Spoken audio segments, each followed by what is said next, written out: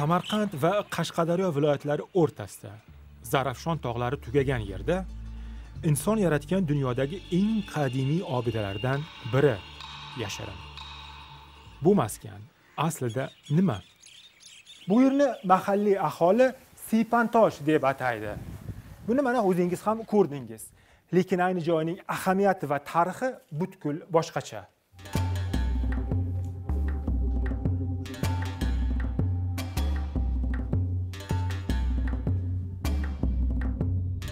Qoyatosh tasvirlari o'n ikki ming yillik miloddan avvalgi o'n ikkinchi ming yilliklarga taalluqli yodgorliklar ya'ni o'rta tosh davri mezolit davriga tegishli qoyatosh tasvirlari hisoblanadi. Tarixchi feruz shomurodov chiroqchidagi ushbu qoyatosh rasmlarini o'rganadi. Rasmlar mezolit yoki o'rta tosh davriga oid. Ov manzarasi eng e, qimmatli tasvir hisoblanadi. Ya'ni bu yerda ham qoyatosh tasvirlari tasvirlangan ov manzaralari tosh davri insonlari qoldirgan bu kabi yodgorliklar ispaniya va fransiyada ham saqlangan. O'zbekistonda esa uch joyda navoiyda sarmishsoy surxondaryoda soy va qashqadaryoda seypantosh bor.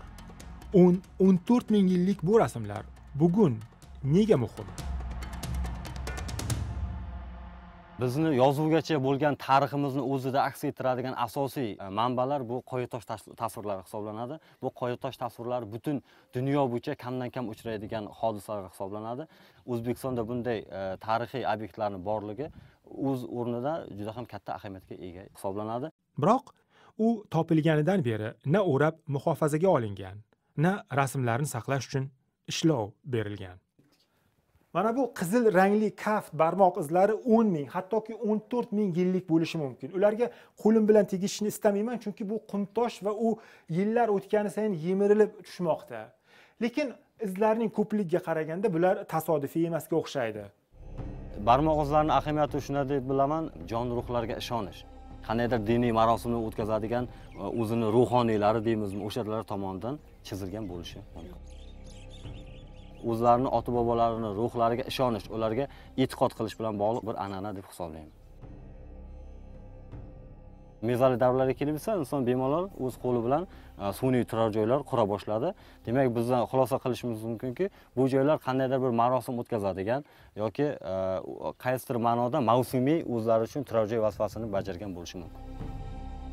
Aftidan siypantoshning muqaddas marosim maskani sifatidagi shuhrati hali hamon so'nmagan. Joylarni jannat naim jannat qilish nasib etsin. Rahmatingni ber mahalliy oqsoqol va faol hamro sidiqov obida joylashgan quruqsoy qishlog'ida tug'ilib o'sgan. Otaxon maskanni muqaddas deb ishonadi. Siypontosh otamiz ota degan ulug'i borda shu yerda. Mana o'tirgan mana tizzalarini izi deb ko'rsatishardi hozir shular hammasi turib toshladi o'tirib e, ibodat qilganlar hozirgacha ham shu aziz aziz joy deymiz. Mahalliy aholi siypantoshni ilohiy sanab kelgani qoyatosh rasmlarining saqlanib qolishiga yordam bergan. Doimo yoshligimizda shu o'sha siypantoshga tosh minib siypanib o'ynaganmiz. Faqatgina toyishga ruxsat qilardi ota onamiz toysanglar mayli lekin boshqa hech yerga tegmanglar juda ulug' joy deb gapirardi siypantoshdagi rasmlarni o'n ming yillar davomida asrab kelgan mahalliy inonchlar bugun endi yordam bermay qolayotir toshlar qum toshdan tashkil topgan va yillar jarayonida namlik e, natijasida u qo'porilib tushishi mumkin. Ikkinchi sabab esa sayyohlar rasmlarni yorqinroq ko'rish maqsadida rasmlarni namlash yoki uni ustidan chizish ehtimol darajalari ko'payib ketmoqda. Bu obyektlarni barchasi endi e, muhofaza qilish e, jarayoni juda ham kuchli e'tiborga olinadi. Sepantosh samarqand va shahrisabz kabi turistik shaharlarga yaqin. Rasmiylar bu yerlarga kelgan sayyohlarni endi obidaga ham jalb etish niyatida.